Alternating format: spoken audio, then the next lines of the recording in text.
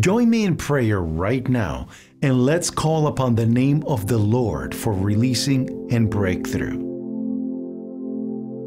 Prayer to ward off enemies, envy, and betrayal.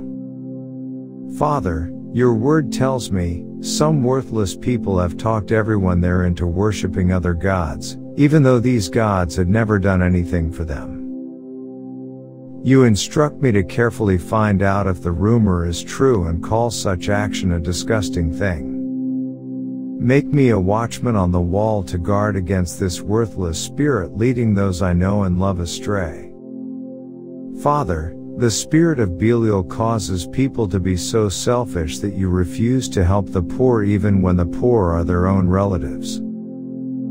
You warn me not to be like that and say that if that person I refuse to help tells you of the wrong I do, you will say that I am guilty.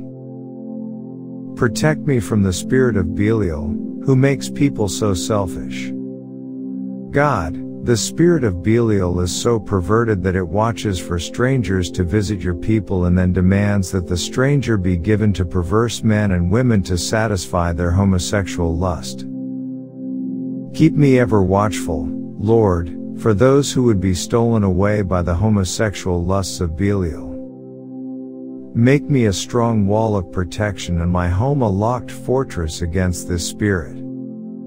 Your word tells the horrible story of a traveling Levite who, with his wife, spent a night in the home of a fellow Jew who lived in a city filled with men who were no longer living for God but were filled with the spirit of Belial.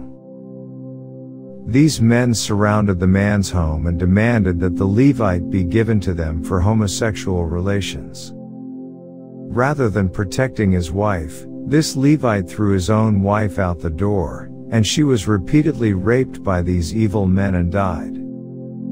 Lord, teach me to heed the warning of this story and never become so apathetic toward you that I would willingly give up my own family members to evil.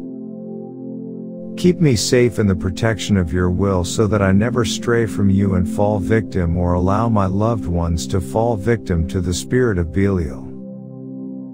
Lord, when Hannah was interceding in the temple for a son, she was thought to be a daughter of Belial who was drunk. Help me to recognize that the spirit of Belial would attempt to bring me under the bondage of some addictive sin that traps me.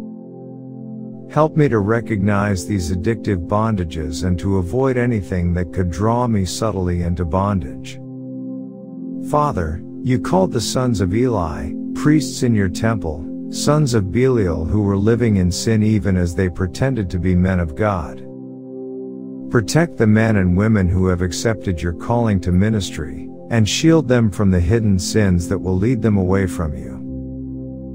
Break the power of sin from their lives, and keep them true and honorable shepherds who lead your people into righteousness. Father, like Eli's sons, so many church leaders and men of God today have fallen prey to the spirit of Belial and have ended up broken, bound by sin, and unworthy to serve as your shepherds. Help me to pray and intercede for your shepherds. Break the power of Belial to lead your servants astray. Keep them pure and holy and blameless before God and before the people they are leading. Father, as soon as Samuel had anointed Saul to be king, the spirit of Belial immediately attacked him by casting doubts to the people about his ability to lead them and by their refusing to honor him with their gifts. The spirit of Belial was already at work, filling Saul with self-doubt and insecurities about his abilities. Even though he held his peace, this spirit began its insidious attack against him, ultimately leading him to reject you and fail miserably at the job you had called him to. Make me strong against Belial when it tempts me to doubt what you have called me to do or tempts me to feel inadequate or inept. Make me powerful through your spirit, and defeat the spirit of Belial from my life. In Jesus' name. Amen. Type Amen if you feel abundant. Watch this important message right now.